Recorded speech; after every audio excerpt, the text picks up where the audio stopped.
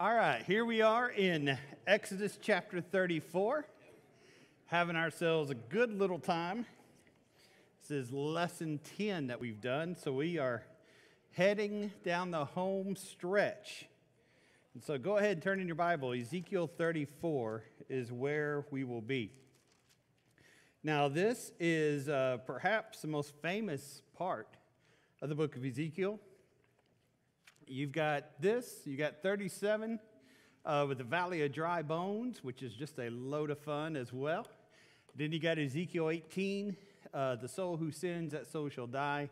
Ezekiel 18, 20, that you'll hear preachers uh, bring up whenever we are tagging on Calvinism. But the uh, shepherd passage is perhaps the most famous. And anytime you hear preachers working on John 10, they run back here for just a little bit because it's juxtaposed and it works really well on John 10. Now, the most famous job I think that you'll find in Scripture is that of a shepherd. Everybody's a shepherd. That's kind of the family business uh, as you go through and as you think about it. You see uh, where in the very beginning you had Cain and Abel. Uh, Cain appeared to be a or no, Cain appeared to be a farmer. Abel appeared to be a shepherd. And so you see that he uh, had his flock, then his sacrifice. And you see many of Abel's children, or Seth's children, excuse me, will be shepherds. We'll get down to Genesis chapter 12, and you see that he is a shepherd. Abraham is a shepherd there. In Genesis 13, Abraham is such a good shepherd. He and Lot uh, begin having trouble because Lot has a lot of sheep. And so they're going back and forth. Uh, you'll go down to uh, Genesis chapter 30, and there you read about Jacob and Laban, and you see Jacob's unique breeding program. Remember, you lay the twigs a certain way in the water, and the goats come out with spots. We're still not exactly sure what all was going on there, but you see from there that Jacob's a shepherd. You uh, go all the way to the book of Exodus. Moses grew up first 40 years in Egypt at his second 40 years, he worked for his dad, Jethro, and uh, he was a shepherd out in the wilderness, uh, learning the lay of the land before he'd lead the children of Israel the last third of his life. Uh, you look at David in 1 Samuel 16, you see that he is a shepherd.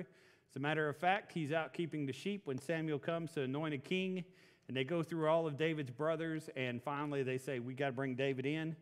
And you know, about shepherds because Psalm 23, right? You know about shepherds from Luke 15, uh, the parable of the lost sheep. You know about shepherds from John 10. You know about shepherds because that's the term, one of the terms used for elders. You see an elder, you see a, um, an overseer or presbyter, or if we'd put in our language, a manager, a store manager. That's really the word being used there. And then you see the word poimen, which is a shepherd. And so you see those terms used in Acts chapter 20 and verse 28, and also 1 Peter chapter 5, verses 1 through 4. And so when God is trying to describe the way his church and the way his people work, he loves the term or the name shepherd. And so that brings us to what we're talking about as we go into this passage. So let's start in chapter 34 and let's begin reading in verse 1. And we'll go through verse 9 ish, 10 ish, somewhere along in that range. This is New King James I'm reading from. And the word of the Lord came to me, saying, Son of man, prophesy against the shepherds of Israel. Prophesy and say to them, Thus says the Lord God to the shepherds Woe to the shepherds of Israel who feed themselves. Should not the shepherds feed the flocks? You eat the fat, clothe yourselves with wool, you slaughter the fatlings, but you do not feed the flock. The weak you have not strengthened, nor have you healed those who are sick, nor bound up the broken, nor brought back what was driven away, nor sought what was lost. But with force and cruelty you have ruled over them. So when they so they were scattered because there was no shepherd, and they became food for all the beasts of the field when they were scattered. My sheep wandered all through the mountains and on every high hill. Yes, my flock was scattered all over the face of the earth, and no one was seeking or searching for them. Therefore, you shepherds, hear the word of the Lord. As I live, says the Lord God, surely because my flock became prey and my flock became food for every beast of the field, because there was no shepherd, nor did my shepherds search for my flock, But the shepherds fed themselves and did not feed my flock. Therefore, O shepherds, hear the word of the Lord. Thus says the Lord God Behold, I am against the shepherds, and I will require my flock at their hand. I will cause them to cease feeding the sheep, and the shepherds shall feed themselves no more. For I will deliver my flock from their mouths, and they shall no longer be food for them. All right, so what you see is Ezekiel is talking about the leaders of Israel, and he says they are the same thing as absolutely worthless shepherds. They are working in a selfish and a wrong handed way.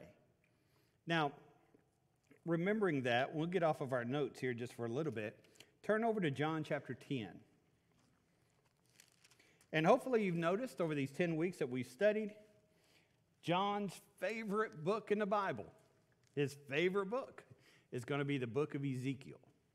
And as you go through the book of John, what you see is a ton, a ton of, reputation, of repetition of what's in the Ezekiel. Now, we never notice that because we don't study Ezekiel very much. But John loves this book. And um, you see it throughout his gospel, you see it throughout First John, and you see it throughout the book of Revelation. And so it's a pretty common thing, which is here. All right. So now here we are in John 10, and we could go a lot further because John 10 is really a retelling of Ezekiel 34 and a fulfillment of prophecy. But we'll get there uh, later. John 10, let's look in verse 7. Jesus says, And most assuredly I say to you, I'm the door of the sheep. All who ever came before me are thieves and robbers, but the sheep did not hear him. Okay? Now skip down to verse 12, or we'll look at verse 11. I am the good shepherd, and the good shepherd gives his life for the sheep. But a hireling, he who is not the shepherd, one who does not own the sheep, sees a wolf coming, leaves the sheep and flees, and the wolf catches the sheep and he scatters them. The hireling flees because he's a hireling. He does not care about the sheep. All right, so John expands Ezekiel 34, and he says there's two kind of bad shepherds. The first one is a thief. Now, why do you have people who steal cattle or sheep or whatever else? They're looking for money, right? Looking for an easy way to make a buck. Uh, you don't have to be there through the birthing process. You don't have to spend all your time feeding them, building fencing for them, or whatever else. It's time to slaughter them. So you sneak across the fence and you grab a couple of sheep and then you have them, you take them to the slaughter, and you make a whole lot of money. Now, why do people do sheep stealing today? Of course, Satan is the ultimate sheep stealer, but you have some people who are always looking to raise up disciples after themselves, and they're taking people away from Jesus and causing them to follow themselves. In Acts chapter 20, verse 28, as uh, Paul is talking to the Ephesian elders, he says, There will be some who will rise up, even among yourself, who are going to draw disciples after themselves. There is a temptation in the church of a desire to gather power. And some of the most political people you'll ever find can be church people. Uh, hopefully, you've never lived through a church split. I know some people have. When you go through a church split, um, you go back and forth, and it's a sad thing because you end up treating brethren worse than you would pagans, right? I, I, was a part of a church split, I think, when I was in late middle school, maybe early high school. Um, some people had preacheritis, and some people really did not have preacheritis for that preacher. And so, you know, the preacher went off, started his own congregation across town and all that business. And um, you know, we could eat with denominational people in a restaurant, we could hang out with pagans in a restaurant, but man, somebody from that bad church walks in, oh, it got uncomfortable all of a sudden, right? It's just super political, which is there. And those two politics, those two political groups, are trying to get everybody on their side and stealing back and forth. And what you'll see when a split happens, especially if it's not attended to in a healthy way, is the focus no longer is on Jesus, the focus is on what the people across town are doing. And the people across town, all they're going to do is in their sermons talk about whatever this church over here is doing wrong. And when the church gets caught up in that business, the church shrinks because nobody's drawn to that. It just makes us feel better. Nobody's drawn to that. You need to preach on Jesus. You need to preach on how to live as Jesus' disciple, and you need to put him first. And so Jesus here talks about these thieves, people who are coming in and trying to gain power and disciples after themselves. Now, sometimes preachers have huge egos. Uh, usually that's something more common than not. Preachers are pretty egotistical. And so there's a joy, a, a, perverse selfishness that comes from trying to have the best sermon in town, or trying to have the largest congregation in town, or trying to be the best at this or that or whatever else. And people are drawing disciples to themselves instead of Jesus. Don't be the thief, because that is a bad shepherd. Now, what's this next one that he talks about here in John 10? He talks about, looking here in verse 12, the hireling. All right? Why does a hireling not care about the sheep? They're not his. he works eight to five. And as soon as five o'clock comes and he hears the ding, it's not my job anymore, right? Just got to get them through. It's not my job. I'm either too important of that to do that, or I'm not important enough to do that. It is not my responsibility. And so what you have is people who are coming through doing the bare minimum, doing as little as possible, but still getting paid. And when you have shepherds, when you have sheep that way, when you have people in your church who are doing as little as possible, just enough so they're not getting in trouble, the church runs into trouble. The church runs into difficulties right there, doesn't it?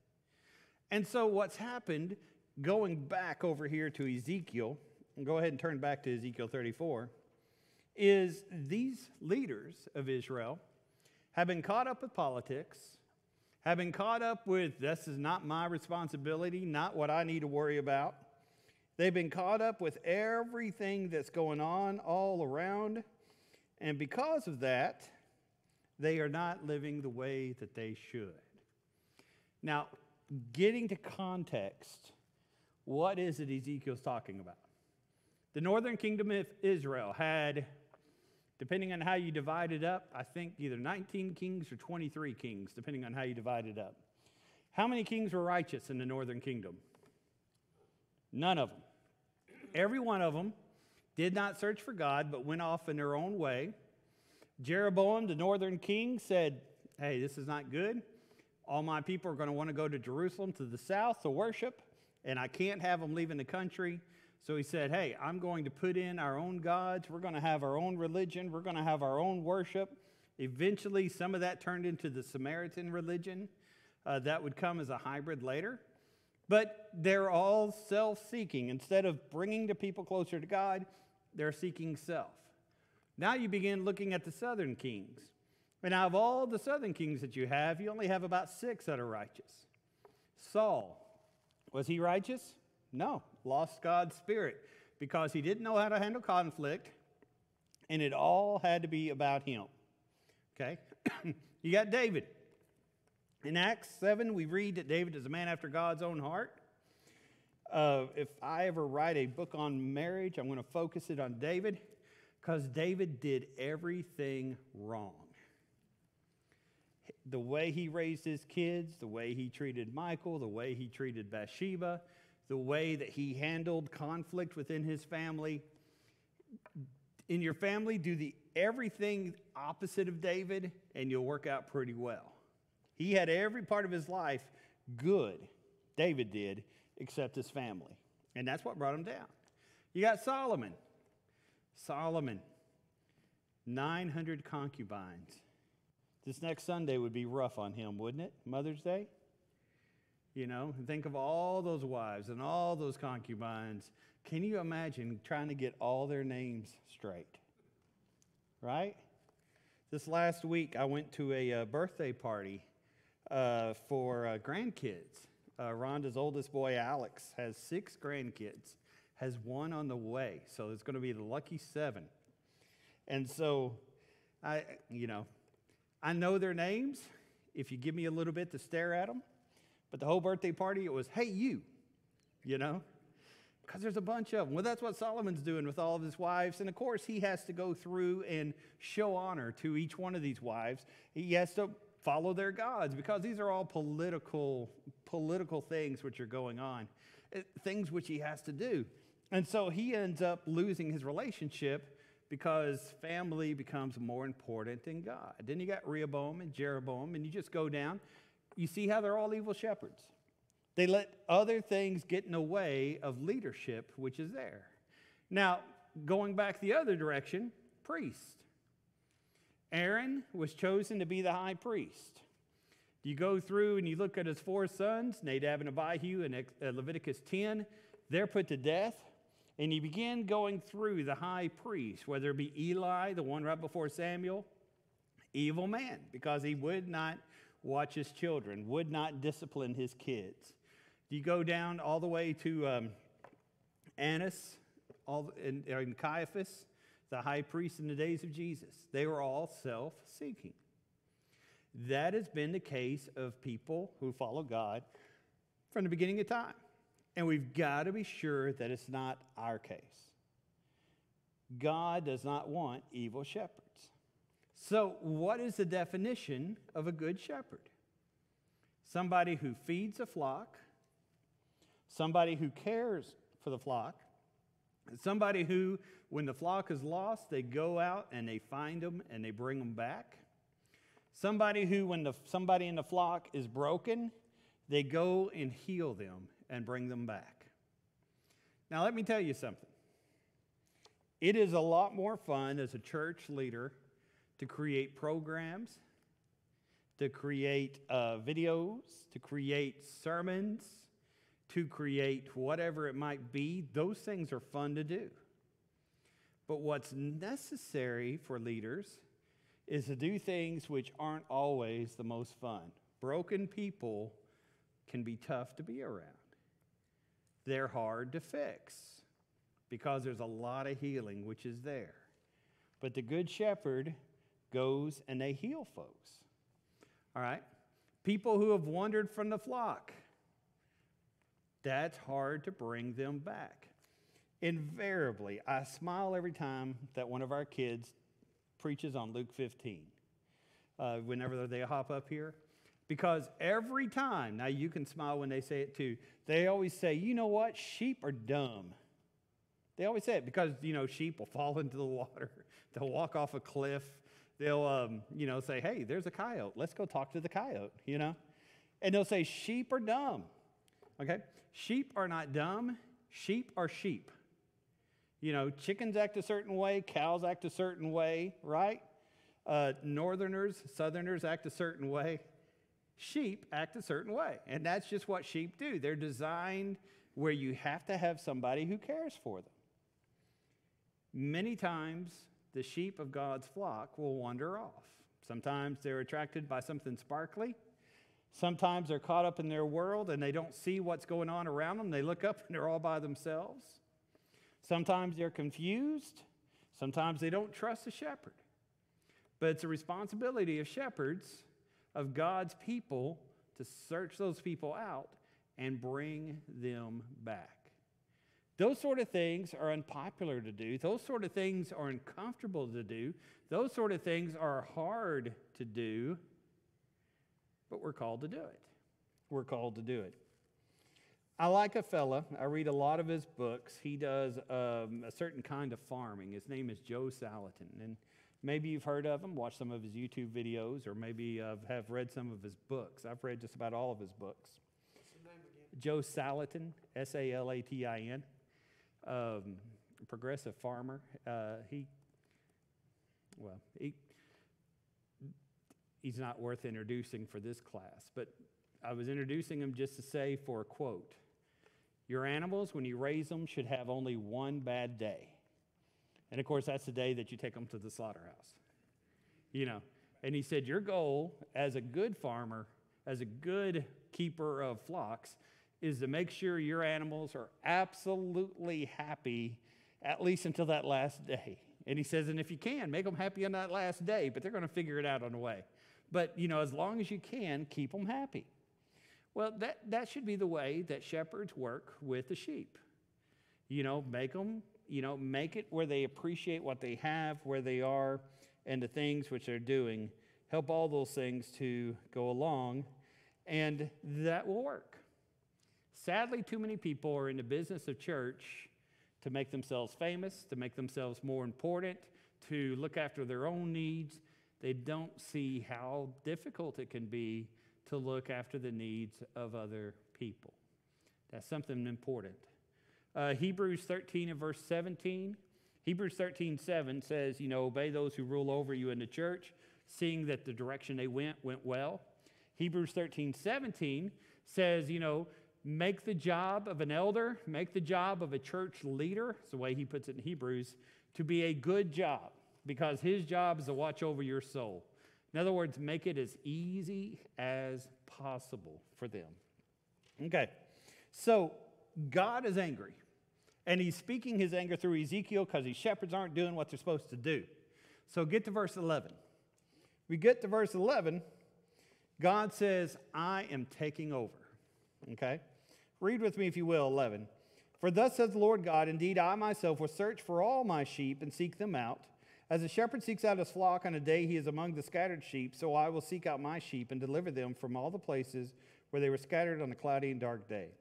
I will bring them out from the peoples and gather them from the countries. I will bring them to their own land. I will feed them on the mountains of Israel, in the valley, and in all the inhabited places of the country. I will feed them in good pasture, and in their fold shall be on the high mountains of Israel. There they shall lie down in a good fold and feed in rich pasture on the mountains of Israel.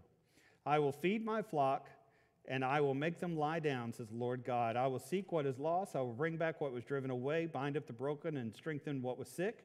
I will but I will destroy the fat and the strong and feed them in judgment.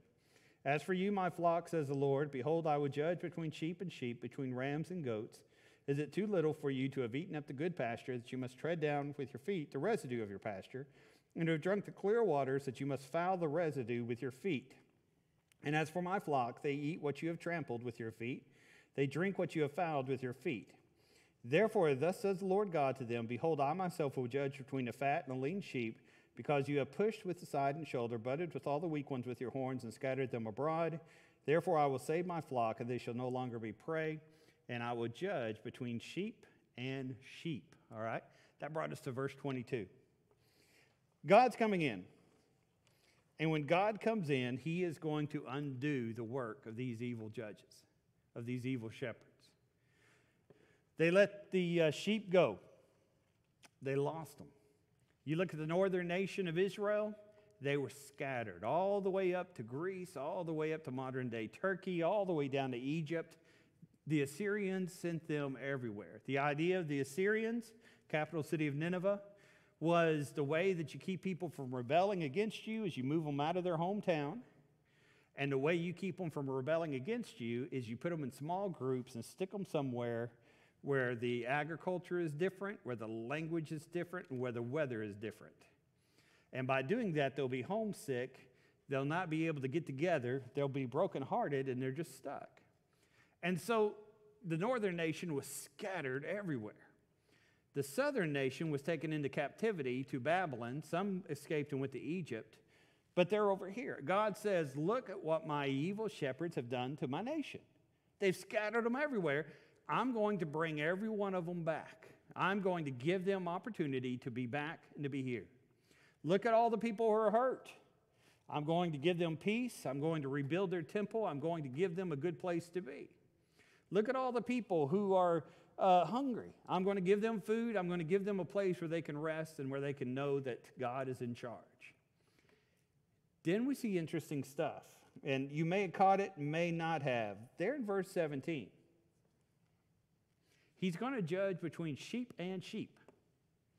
What you'll notice here is this case, all right? Hurt people hurt people. Okay? Let me say that again because that was weird sounding. Hurt people hurt people. Stereotypically, it doesn't have to be this way, and it won't be this way in your life.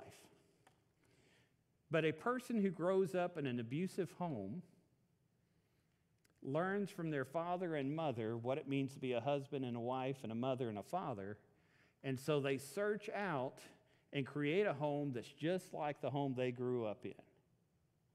A person who endures abuse oftentimes will be abusive to others because they've understood that that's normal, that's regular. And you put them in a situation where there's love, where there's acceptance, and when there's forgiveness, and it's almost chaos because it's so different than their language that they've learned, than what they know. God knows when He takes care of these shepherds and puts them out of the way and He brings these flocks back, that these hurt people are going to hurt people. And so He's talking about the fat rams and the skinny sheep.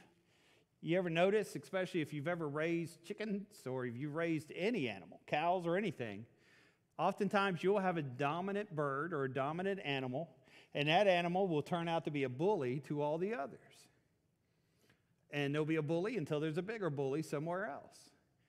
God says, I'm not going to allow that to happen in the church. I'm not going to allow that to happen among my people. I'm going to regulate it and make everybody equal in God's sight. He recognizes that hurt people hurt people, but He's going to make it where He is going to judge between us and make it where the church is a place where people are accepted. The church is a place where everybody is important. The church is a place where everybody matters. And that's the kind of congregation that we have got to always work on creating. This world is too lonely of a place for us not to be that kind of church. And this world is too mean of a place for us not to be that way. We've got to love one another. We've got to forgive one another. We've got to be there for one another. That is what we are called to do. And so that's absolutely the way that we need to live, and that's absolutely the way we need to act as we're together to do these sort of things that you see here. Now, the fun part. Uh, we've just got through the simple part of the chapter. Now we'll look at some stuff. Look at verse 23, and let's guess who we're talking about. I will establish one shepherd over them he shall feed them. My servant David, he shall feed them and be their shepherd.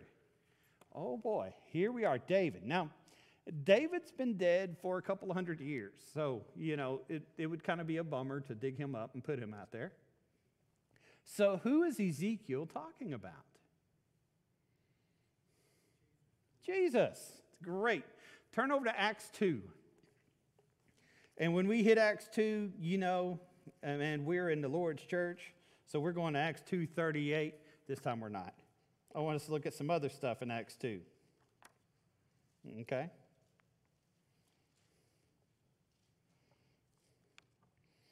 We've just seen verse 22 Jesus, the men of Israel hear these words Jesus of Nazareth, a man who is attested or proven to be the Son of God by his miracles, wonders, and signs. You know him. Okay? Now, check out verse 25. 25, David, this is the real David here, writes, I foresaw the Lord God always before my face. He is at my right hand. I shall not be shaken. Therefore, my heart rejoiced. My tongue was glad. My flesh will also rest in hope. For you will not leave my soul in Hades, nor will you allow your Holy One to see corruption. In other words, you're not going to let me die, and you're not going to let my body rot. You have made known to me the ways of my life, and make me full of joy in your presence. All right, look at verse 29. Men and brethren, let me speak freely to you. Let me be a little bit, he's saying, uh, gross here, real quick. David. He says, David is both dead and buried, and his tomb is with us to this day.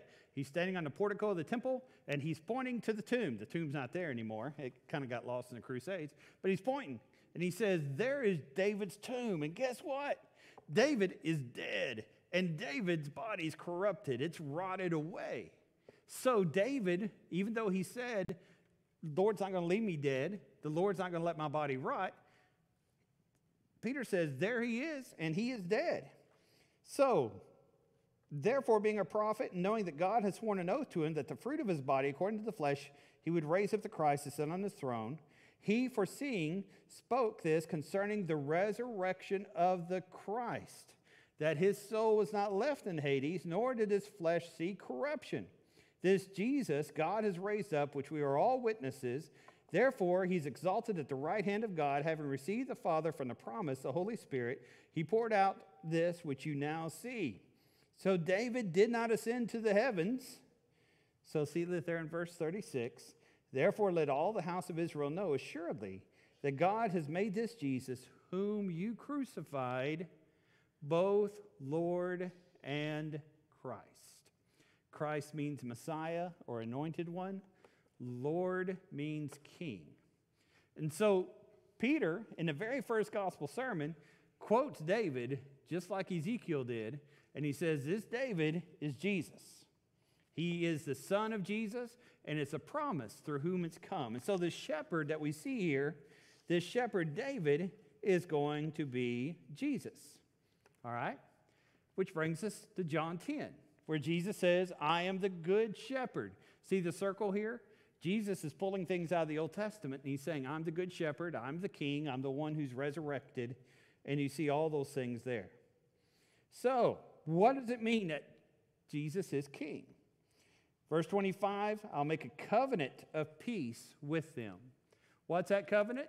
Jeremiah 31, 31 through 34, or Hebrews 8. What's that covenant? I will make a new covenant. What is it? It's the New Testament. Matthew through the book of Revelation. We're no longer under the Mosaic covenant. We are now under the covenant of grace, of law, and of truth. And that's the covenant of Jesus, okay? Now, I'll keep, cause the wild beasts to cease from the land. We're still working on the uh, shepherd motive here. And they will dwell safely in the wilderness and sleep in the woods. I'll make them sleep. I will make them in the places all around now, verse 25, where it says, sleep in the woods, don't follow that example. Don't sleep in church. Verse 26, I will make them in the places all around my hill a blessing, and I will cause showers to come down in their season, and there will be showers of blessing. That'd make a good church song, wouldn't it? Then the trees of the field shall yield their fruit, the earth shall yield her increase, they shall be safe in their land, and they'll know that I'm the Lord when I've broken the bonds of their yoke, or the bands of their yoke, and delivered them from the land of those who have enslaved them. They'll no longer be prey to the nations, but I will bring them home. Beautiful passage. What is he talking about? Where is this covenant of peace where God will restore his people and give them a beautiful place? It's the church. It is absolutely 100% the Lord's church. We are the people of God and no longer are you born into the church physically, but you're born into the church by spirit, right? John chapter 3 and verse 5. We are born in the spirit. Everybody knows the law, everybody is following the law, everybody understands what it means to be a New Testament Christian. And so that's what you see here. Now, let me do a quick aside because you probably haven't heard this doctrine, but it is flowing through with a lot of younger preachers, and you'll hear it someday, all right? Um, every preacher always has to be speaking of the end of his tenure because he'll either get fired or he'll move or he'll die. And the next preacher may have this idea. So let's go ahead and cover this, okay? Hopefully, I'm not dying anytime soon, and hopefully, I'm not moving anytime soon. I try to avoid those moving sermons, you know. The idea is called the doctrine of new heavens, new earth. And a lot of people, especially in the Lord's church, are starting to get all excited about it. And where this comes from, or what this idea is, comes out of Romans 8, where it talks about creation groaning and creation bowing down under the hurt of sin and praying for the day in which that curse is removed. People take that and they take Ezekiel 34 and they take a passage out of the book of Isaiah where it talks about we're going to live in a land where, uh, you know, the lion and the lamb will sleep together and just have a great time. They go to Revelation 20 and 21, where you see the church, and the, the church comes out of heaven and resides, looking like perhaps in Jerusalem, and there's a literal city which is there. And so, what they say is that when the earth is burned up, it'll just kind of be a cleansing fire, and all of us will be here. There's no such thing as heaven. We'll all be here upon the earth. There will be no more sin, no more dying. It will be just like the Garden of Eden. Hopefully, we'll still wear clothes. We haven't got that part down yet. But it'll be just like the Garden of Eden no more death, no more dying, or anything like that. A lot of people love that idea. Uh, I don't.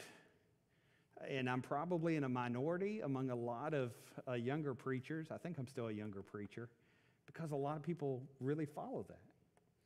Now, here's where the issue is Jesus never really describes heaven.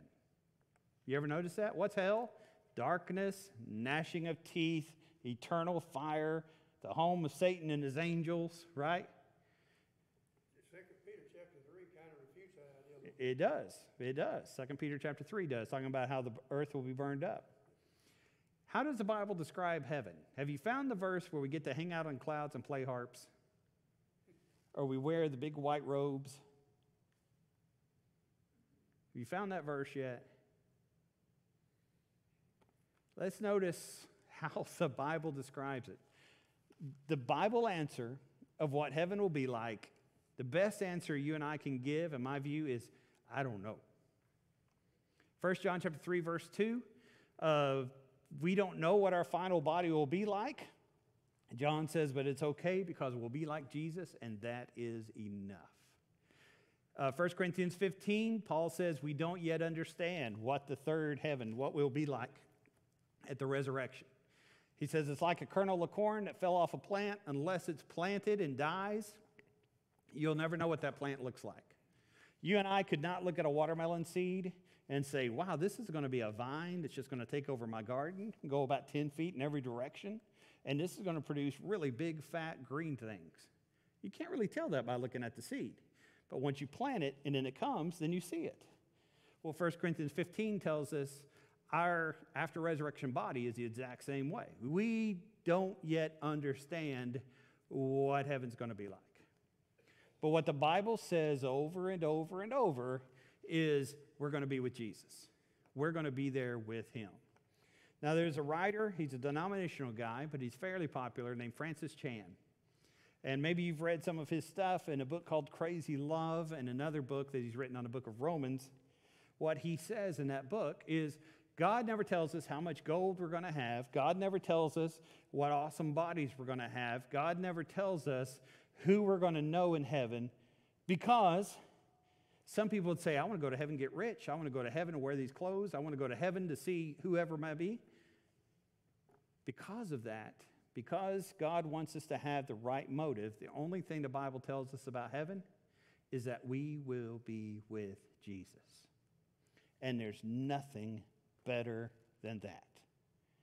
Absolutely nothing better than that. Now, we could spend a lot more time. The, uh, the verb pronos that's used in the book of Hebrews, I think this proves it fairly well. And there's some passages in First John that disprove it. But that's deeper than we want to get, I think. Well, I know. We are probably already deeper than we want to be. Now, the next important part I want you to see how exclusive the church is. How many shepherds are there? One. One shepherd. How many flocks are there? Not many flocks. Yeah, there's one flock. Many people in that one flock. Okay? God is making a point. Now, in John 10, Jesus says something interesting I have sheep that are not of this sheepfold. Mormons love that verse, denominational people love that verse. Jesus is talking about Gentiles, is what he's talking about. There's one church, neither Jew nor Greek, slave nor free, male nor female, but we are all one in Christ Jesus, right? We are all one. There's one church. Don't fall for the goofiness of denominationalism, of saying you can go in any direction that you want to and believe anything you want to. Follow God. Who bought the church? Christ bought the church. Okay, so who gets to make the rules? Jesus gets to make the rules. Who uh, is going to tell you how to worship? Don't listen to the preacher necessarily, or the elders, or your teacher, or your parents. Go back into God's word. Be like those Bereans in Acts 17 and study to see if the things that the preacher is talking about are really in the Bible. See if those things are really, truly approved. All right, application. Leaders in the church, They got to care about the church. You got to care about the people. Nothing in church, excuse me, matters more than the people. Lord didn't say, hey, you know, there will be great rejoicing in heaven when we built a really awesome building. That's not exactly what Luke 15 says, is it? There will be joy in heaven when we get a certain amount in the church treasury. Now, what's it say? When one of these souls is brought to repentance, when a sheep is brought back. Okay? Number two, God's in charge. God's ways are higher than man's ways. When Israel added human elements, kings, things went south. Number three, every book of the Bible talks about Jesus. John 5 and verse 58. And so you see Jesus plain as day, even though this is several hundred years before he ever walked the earth. Thank you for being with us. Thank you for our time and study.